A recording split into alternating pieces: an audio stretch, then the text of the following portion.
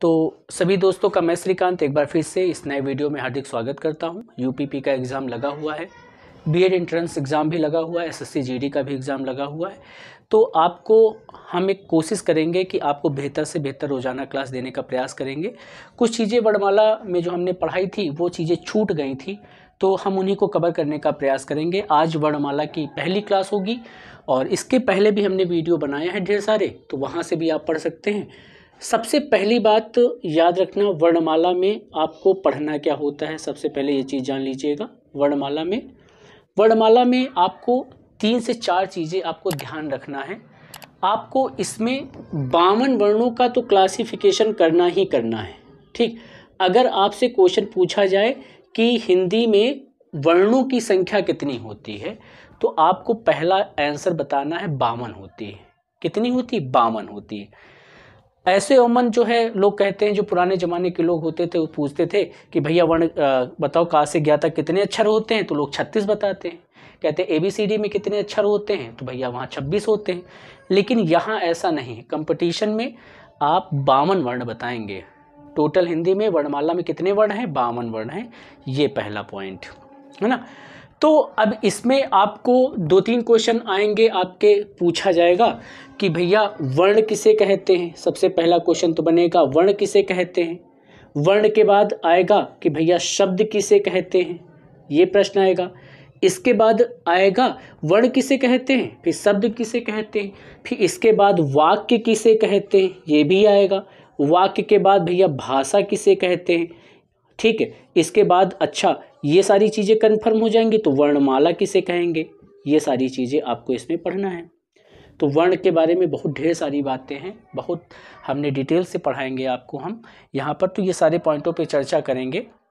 वर्णमाला में अगर हमने बताया कि अगर बावन वर्ण की बात होती है तो सबसे पहले चर्चा होगी कि भैया वर्ण किसे कहते हैं। ठीक है? वर्ण या अक्षर किसे कहते हैं? सबसे पहला पॉइंट आता है, वर्ण या अक्षर किसे कहते हैं? है ना? तो आप इसकी डिफिनीशन क्या पढ़ोगे? इसकी डिफिनीशन क्या बताओगे? ये क्वेश्चन पूछा जाता है कि वर्ड किसे कहते हैं?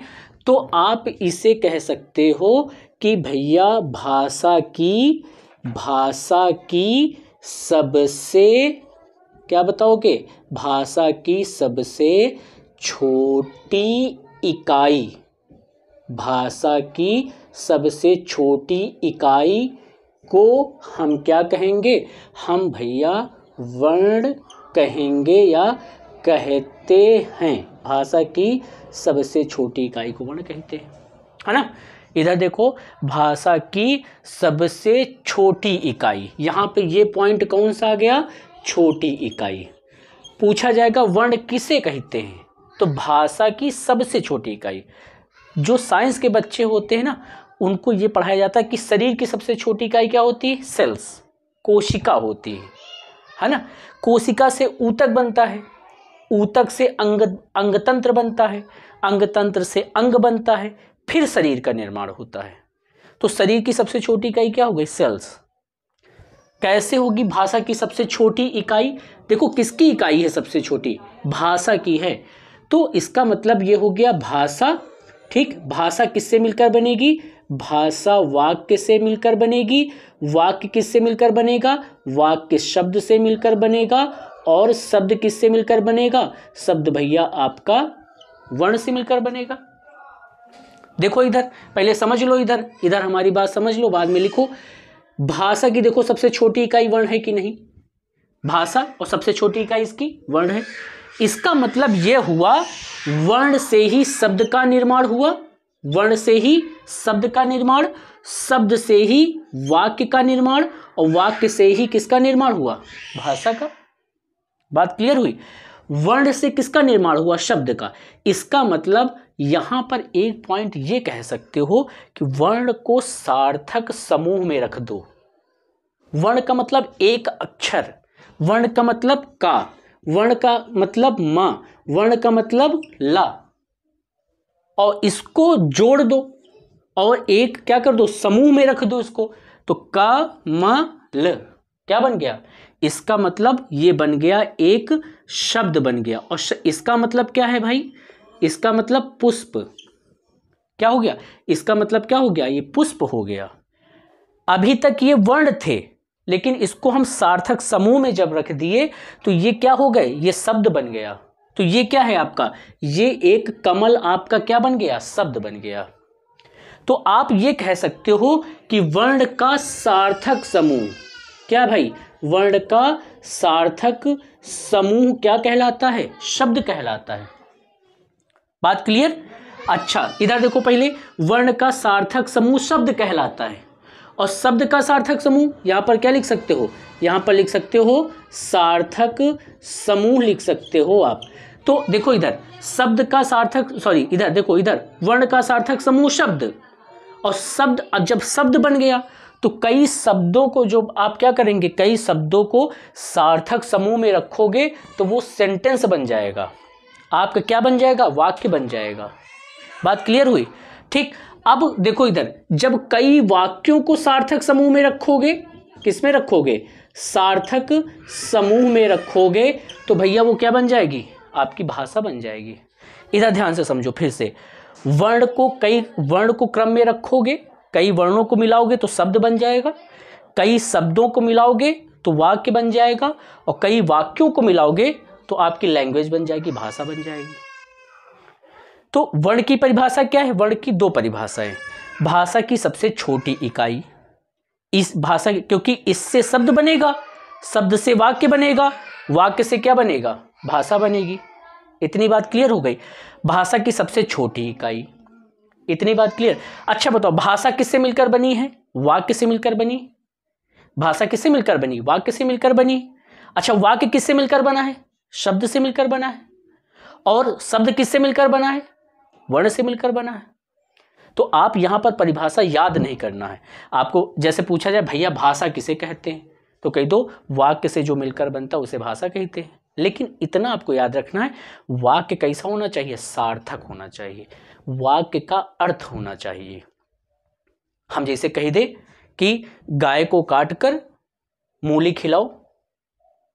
गाय को काटकर मूली खिलाओ। क्या या क्या ये वाक्य सही है बताओ? गलत है ना वाक्य? तो ये वाक्य कहाँ हुआ फिर? इसीलिए क्या लिखा हुआ है? सार्थक। अर्थ के साथ होना चाहिए। उसका कोई अर्थ हो। जैसे वर्ण है वर्ण को सार्थक क्रम में रखो, सार्थक समूह में रखो वर्ण वर्ण को। अब देखो जैसे, क, म, ल लिखा हमने, लेकिन अगर इसी को ल, क, म कर दें, बताओ, भाई, क्या ये तीन वर्ण नहीं रखे हमने? लेकिन क्या इसका कोई अर्थ है? नहीं अर्थ। तो क्या ये क्या ये शब्द हुआ भाई? तो ये फिर शब्द नहीं हुआ। ऐसे क्रम में रखो कि उसका सार्थक हो। सार्थक का मतलब अर्थ हो। अर्थ सहित तो निकले उसका कोई भी समूह, तभी वो क्या होगा? वो तभी आपका शब्द होगा। अब जब आपका शब्द सही है तो जब शब्दों को सार्थक समूह में रख दोगे तो आपका वाक्य बन जाएगा। और वाक्य जब आपका सही है तो वाक्य को कई कई वाक्यों को मिला दोगे तो क्या बन जाएगी? भाषा बन जाएगी। तो बात क्लियर हुई? अगर आपसे शब्द की परिभाषा पूछी जाए तो वर्ण का ऐसा समूह जिससे उसका अर्थ निकले।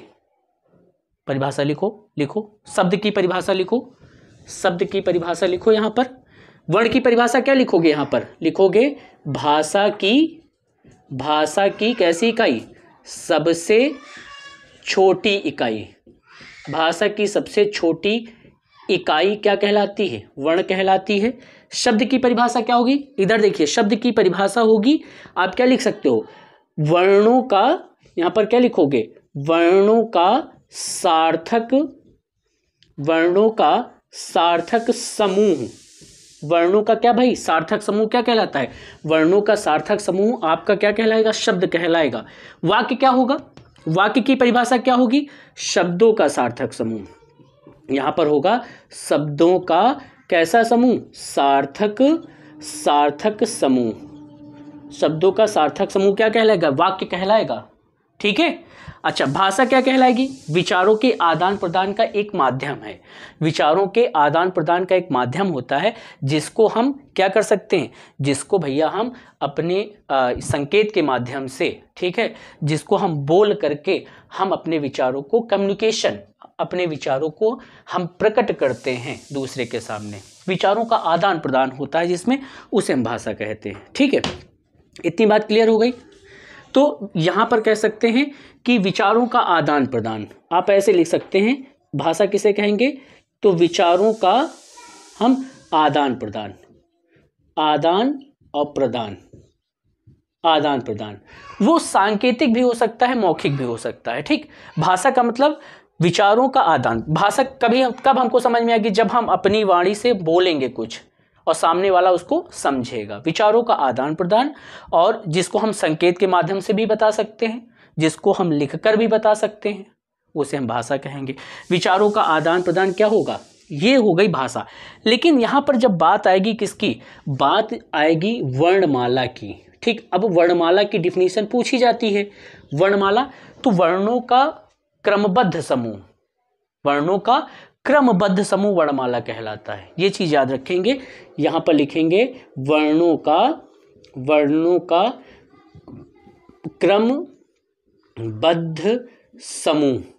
वर्णों का क्रमबद्ध समूह भैया वर्णमाला कहलाता। है वर्णों का सार्थक या क्रमबद्ध समूह, आप क्रमबद्ध समूह कह सकते हैं। वर्णों का क्रमबद्ध समूह वर्णमाला कहलाता है। ये क्वेश्चन आता है। ठीक है?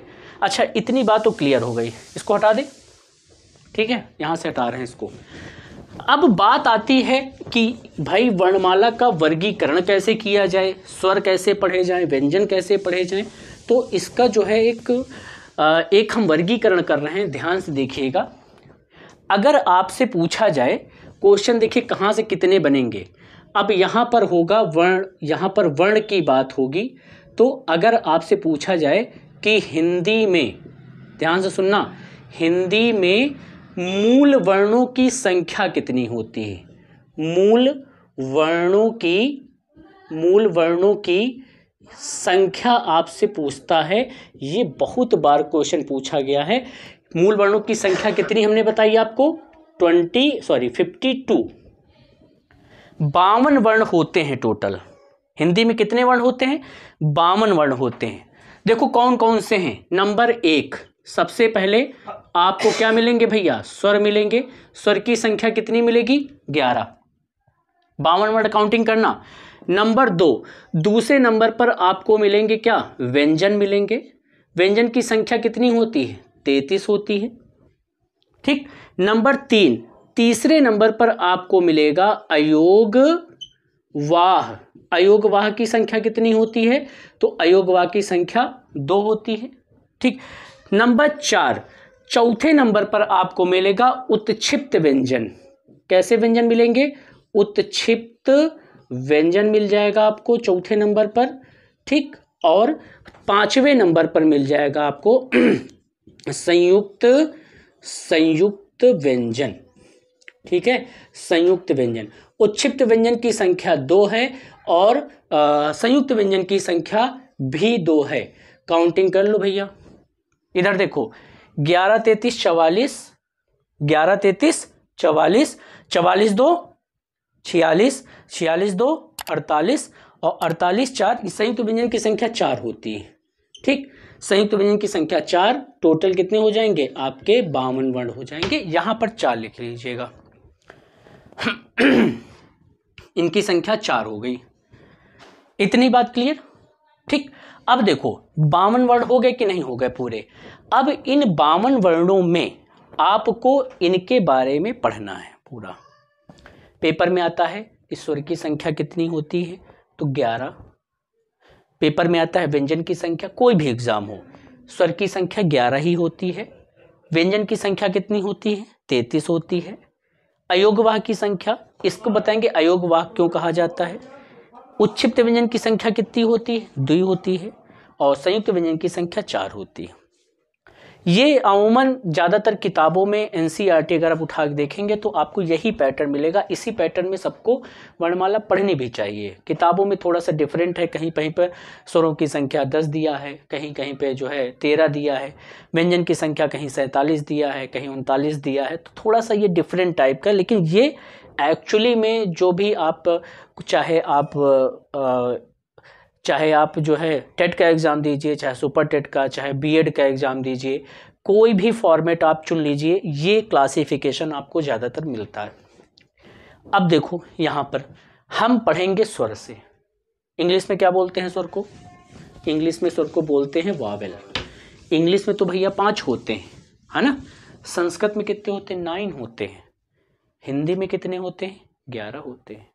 हिंदी में ग्यारह होते कभी कभी पूछ लिया जाता है कि हिंदी में ऐसे पूछ लिया जाता है कि अच्छा बताओ, कुल स्वर कितने होते हैं? ये बहुत कम क्वेश्चन आता है कि कुल स्वर कितने होते हैं तो संख्या कभी कभी तेरह लगा देते हैं।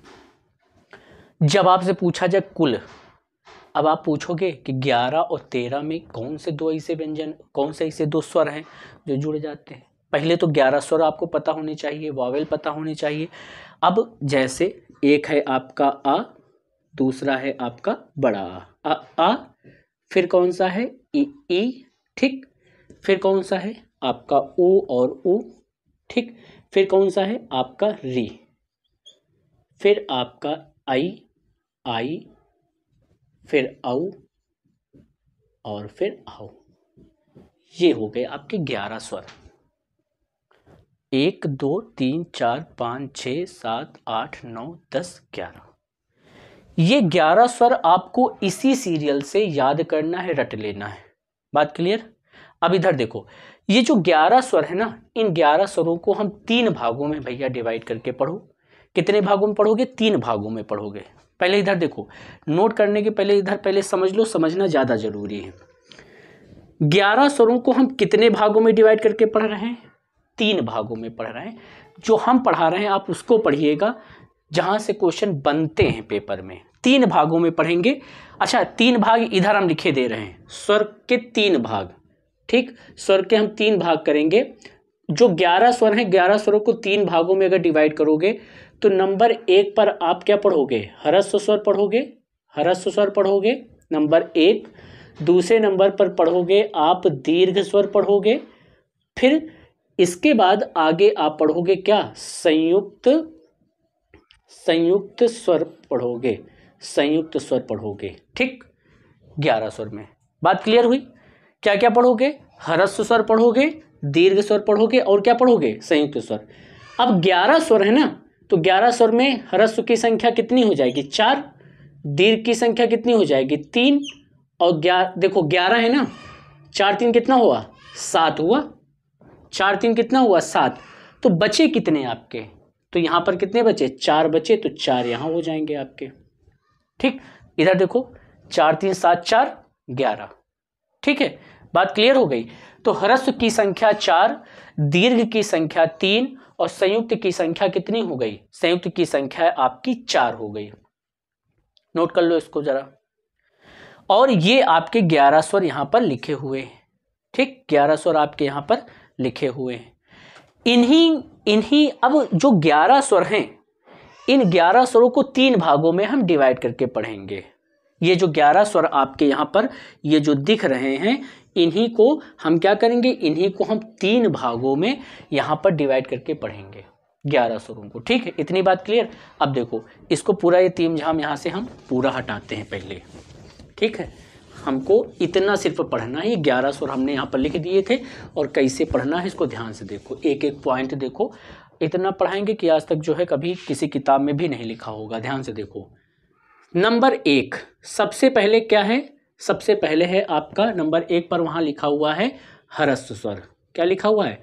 हरस्व स्वर लिखा हुआ है ना? हरस्व स्वर लिखा हुआ। है हरस्व स्वर नंबर एक। इसकी संख्या कितनी है? वहाँ पर लिखी है चार। आखिर हरस्व स्वर को हरस्व स्वर क्यों कहा गया? यहाँ पर हरस्व का मतलब क्या होता है? हरस्व का मतलब होता है छोटा। हरस्व का मतलब होता है कम। हरस्व का मतलब होता है लघु। ठीक है? छोटा, लघु। अब हरस्व का मतलब होता है कि आप शॉर्टकट में देखो शॉर्टकट में देखो कि ऐसे स्वर, ध्यान से देखना, उन्हीं में, ग्यारह स्वर में, ऐसे स्वर, ग्यारह स्वर में जिनके उच्चारण में। जिनके क्या है? जिनके उच्चारण में क्या हो? जिनके उच्चारण जिनके उच्चारण में क्या हो? लघुता हो। जिनके उच्चारण में लघुता हो। लघुता का मतलब जिनके बोलने में कम समय लगे, उनको कहेंगे हरस्व स्वर। मतलब जैसे कह दिया जाए, अब देखो, जैसे कौन से स्वर हैं आपके? एक छोटा आ है ठीक एक छोटी ई है, एक छोटा ऊ है और एक आपका क्या है, री है। ये चार ऐसे स्वर हैं जिनके उच्चारण में कम समय लगता है। ठीक है? ऐसे स्वर हैं इनके उच्चारण में कम समय लगता है। देखो, अ, ई, उ, री, ये छोटे वाले स्वर हैं।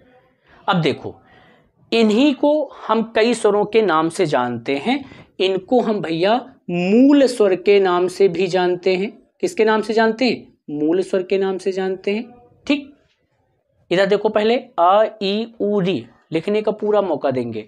अ ई उ, री, इन्हीं को मूल स्वर के नाम से जानते हैं। अब देखो, क्वेश्चन पूछा जाए कि मूल स्वर कितने हैं? एक, दो, तीन, चार। क्वेश्चन बना। मूल स्वर की संख्या कितनी है? चार। अब देखो एक ऊपर आपने क्वेश्चन लिखा होगा, हिंदी में मूल वर्ण लिखा होगा। देखो, सबसे पहले वाले पेज में, हिंदी में मूल वर्णों की संख्या कितनी है? बावन है। है कि नहीं? देखो, लिखा कि नहीं लिखा? लिखा है? बावन लिखा, मूल वर्ण। तो मूल वर्ण जब भी पूछे जाए तो बावन बताना है आपको। लेकिन जब मूल स्वर पूछे जाए तो चार बताना है। यही यही क्वेश्चन बनते हैं। अब देखो अगर हम रिपीट करवाएँ, स्वर की संख्या कितनी होती है? ग्यारह होती है। व्यंजन की संख्या कितनी होती है? तैतीस होती है। अयोगवा की संख्या कितनी होती है? दो होती है। उच्छिप्त व्यंजन की संख्या दो होती है और संयुक्त व्यंजन की संख्या चार होती है। बात क्लियर जिसमें से हम पढ़ रहे हैं स्वर। स्वर कितने प्रकार के हैं? तीन प्रकार के। या तीन भागों में हम उनको सामान्यता वर्गीकरण तीन प्रकार से डिवाइड करते हैं। यहाँ पर संयुक्त स्वर आप पढ़ना है आपको। हरस्व स्वर, दीर्घ स्वर और संयुक्त स्वर। आपको यहाँ पर जो किताब अगर आप देखोगे तो यहाँ प्लुत स्वर मिलेगा, उसके बारे में हम बता देंगे आपको। फ़िलहाल हम यहाँ पर, अब क्वेश्चन पूछा जाता है कि ह्रस्व की संख्या कितनी है? चार। दीर्घ की संख्या कितनी है? तीन। पूछा जाता है संयुक्त स्वर की संख्या कितनी है? चार। टोटल चार, तीन, सात, चार, ग्यारह। ग्यारह स्वरों को कितने भागों में डिवाइड किया? तीन भागों में। बात क्लियर? जिसमें से हरस्व की संख्या चार। अब हरस्व को हम इसका जो ऐसे स्वर जिनके उच्चारण में लघुता हो, जिनके उच्चारण में कम समय लगे, उनको हरस्व स्वर कहते हैं। बात क्लियर? अब देखो, इधर पहले समझ लो।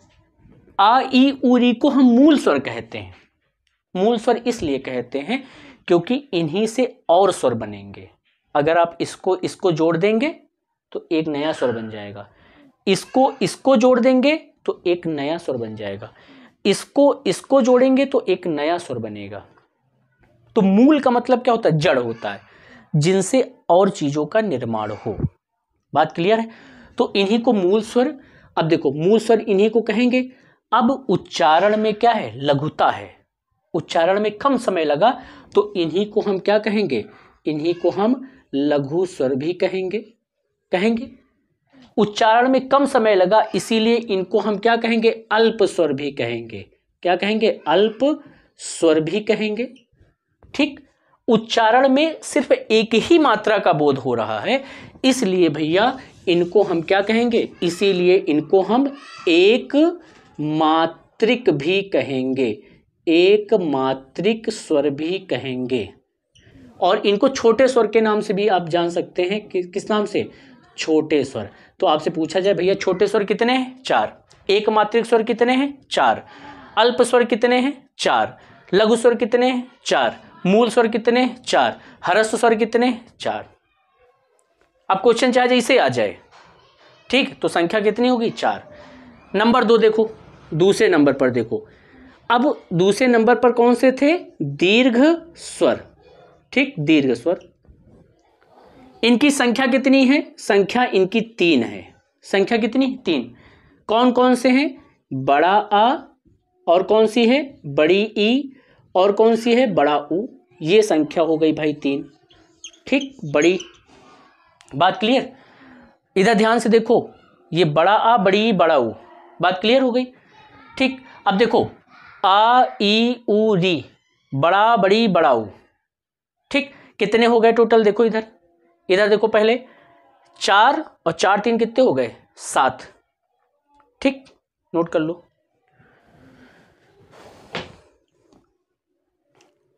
वो बाद में नोट करते रहना, है ना? कोई दिक्कत नहीं है। आ, ई ऊरी तो जो लोग जीडी की तैयारी कर रहे हैं, जुट जाएँ पूरी तरीके से, बेहतर तरीके से हम आपको तैयारी करवा देंगे। इसमें कोई दो राय नहीं है और कोशिश करेंगे कि आपका सिलेबस जो है कवर करने का हम पूरा प्रयास करेंगे और सारी क्लासें कंटिन्यू अब लगातार हो जाएँगी, उसमें कोई दिक्कत नहीं। जीडी में, हिंदी में सिर्फ़ आपको दो चीज़ों का ध्यान रखना है, जो सबसे महत्वपूर्ण टॉपिक है। एक, सबसे पहला पॉइंट तो पत्र लेखन याद रखना है, आता ही आता है। ठीक है पत्र लेखन आएगा और जो दूसरा टॉपिक है, वो ट्रांसलेशन आएगा इंग्लिश में। हिंदी का वाक्य दिया रहेगा और इंग्लिश में ट्रांसलेशन करना रहेगा। फ़िलहाल इतना दो काम करने हैं, बाकी हिंदी पूरी सेम टू सेम वैसे ही है। चौदह पंद्रह टॉपिक है, बीस नंबर की हिंदी आनी है, कोई दिक्कत नहीं। दीर्घ स्वर को दीर्घ स्वर हम इसलिए कहते हैं उच्चारण में। अच्छा हमने बताया ना कि भैया ऐसे स्वर ऐसे स्वर जिनके किसमें? उच्चारण में। जिनके उच्चारण में क्या हो? उच्चारण में क्या हो भाई? दीर्घता हो। उच्चारण में दीर्घता हो, उनको हम क्या कहेंगे? दीर्घ स्वर कहेंगे। बात क्लियर उच्चारण में दीर्घता तो दीर्घ स्वर। उच्चारण में लघुता तो लघु स्वर। ठीक? अच्छा देखो। अब जो दीर्घ स्वर हैं, हम इनको गुरु स्वर भी कहते हैं। इनको हम क्या कहते हैं? गुरु स्वर भी कहते हैं। और इन्हीं को हम मूल दीर्घ स्वर भी कहते हैं। मूल दीर्घ स्वर भी कहते हैं। ठीक? इधर देखो अब, इधर ध्यान से देखो। ये वाला पॉइंट सबसे महत्वपूर्ण है। मूल दीर्घ स्वर क्यों कहा गया इसको? दीर्घ स्वर क्यों कहा गया? अब देखो ध्यान से। हमने कहा कि इनको मूल स्वर कहते हैं। अगर दो आ को मिला दिया जाए, ध्यान से देखो, बड़ा बड़ी बड़ा वो है। एक मूल दीर्घ स्वर और एक मूल दीर्घ स्वर को मिला दिया गया। दो मूल दीर्घ हो गए। जब दो आ को मिलाया गया तो एक क्या बन गया? बड़ा आ बन गया। ठीक, हमने कहा था ना, इनसे अन्य स्वरों का निर्माण हो सकता है। अगर हम एक ई और एक ई को मिला देंगे तो क्या बन जाएगी? एक बड़ी ई बन जाएगी। ठीक, एक ऊ और एक ऊ को मिला देंगे तो ये क्या बन जाएगा? एक बड़ा ऊ बन जाएगा। ये अब क्या हुए? ये किस स्वर से बने हैं? ये देखो, ये मूल स्वरों से बने हैं। मूल स्वरों से बने कि नहीं बने? तो इसलिए इनको मूल मूल तो है ही है, लेकिन दीर्घ बन गए ना। तो इसलिए इनको मूल दीर्घ स्वर कहा गया। बात क्लियर? संख्या कितनी है? तीन। ठीक? अच्छा देखो, ये भी समान स्वर है, ये भी समान स्वर है। ये भी समान स्वर है, ये भी समान स्वर है। दो समान स्वर है ना? ये भी दो समान स्वर है ना? ये भी दो समान स्वर है ना? तो इसलिए इनको हम एक नाम देंगे सजातीय स्वर। क्या नाम देंगे? सजातीय स्वर नाम देंगे। कैसा नाम देंगे? सजातीय स्वर। अगर आपसे पूछा जाए, गुरु स्वर की संख्या कितनी है? तो तीन। मूल दीर्घ स्वर की संख्या कितनी है? तीन। सजातीय स्वर की संख्या कितनी है? तीन है। बात क्लियर अब देखो, ग्यारह स्वर में इतने निकाल दिए, इतने निकाल दिए। अब बच्चे कौन से आपके? नंबर तीन पर बचे आपके जो कौन से थे? संयुक्त स्वर बचे। संयुक्त स्वर। ठीक? संयुक्त स्वर। इनकी संख्या चार है। कौन कौन से हैं? ए हो गया। ठीक? अगला कौन सा है? आई है। फिर कौन सा है? ओ है। और कौन सा है? आपका आऊ है। ये। यही तो चार लास्ट में बचे। है ना? आ आ, देखो। आ आ ई उ उ, री। री हो गया। लास्ट में कौन सा बचा? ए, आई, ओ, आउ। यही यही ग्यारह स्वर थे। इनको संयुक्त स्वर इसलिए कहा गया क्योंकि ये दो स्वरों के योग से मिलकर बनते हैं। ये भी दो स्वरों के योग से मिलकर बने हैं। लेकिन इसमें और इसमें अंतर। देखो, ये दो स्वरों के योग से मिलकर बना है। ये भी दो स्वरों के योग से मिलकर बना है, लेकिन अंतर क्या है? एक आ और एक आ का योग किया तो ये बना, एक ई और एक ई का योग किया तो ये बना, एक उ और एक युग का योग किया तो ये बना। लेकिन अगर आ और ई को मिला देंगे तो फिर ये बन जाएगा। इसका मतलब आ प्लस ई बराबर क्या होगा? ए होगा। इधर देखो, ये कैसे बनेगा? आ प्लस ऊ को। ठीक नहीं, ये आ प्लस ए होगा। आ प्लस ए से बनेगा ये। आ प्लस ए से बनाओ। ठीक, ये कैसे बनेगा? आ प्लस ऊ से बनेगा। और ये बनेगा आ प्लस ओ से बनेगा। ये सिस्टम है। तो इन, अब देखो, क्योंकि अब यहाँ पर क्या है? आ प्लस ई अलग अलग स्वर हैं। तो इनके कई नाम हैं। इनके हम इसको क्या कह सकते हैं? पहली बात तो संयुक्त स्वर कह सकते हैं। ठीक, इधर देखो, आ प्लस ई संयुक्त स्वर है, लेकिन दो अलग अलग स्वरों के योग से मिलकर बने हैं ना, इसलिए इनको हम क्या कह सकते हैं? विजातीय स्वर कह सकते हैं। विजातीय स्वर या अलग अलग स्वर जो दो अलग प्रजातियों से मिलकर बनते हैं, इसलिए इनको हम क्या कह सकते हैं? संकर स्वर भी कह सकते हैं। अच्छा द्विमात्रिक ये भी है। देखो, दो मात्रा से ये भी मिलकर बने हैं, ये भी मिलकर बने हैं दो मात्रा से। इतनी बात क्लियर हो गई। ठीक? तो आपको इतना ध्यान रखना पड़ेगा स्वरों में। ठीक है? स्वर के बारे में फ़िलहाल इतना ही आता है। और अगली क्लास कंटिन्यू कल करेंगे। तो अगर आपको वीडियो अच्छा लगा हो तो दोस्तों के साथ शेयर करें। और फिर मिलते हैं एक नए वीडियो के साथ, नए जोश के साथ, नए ऊर्जा के साथ। लगातार बने रहिए और घंटे को ज़रूर से ज़रूर दबा दीजिएगा ताकि नोटिफिकेशन आपको मिलता रहे बेहतर तरीके से।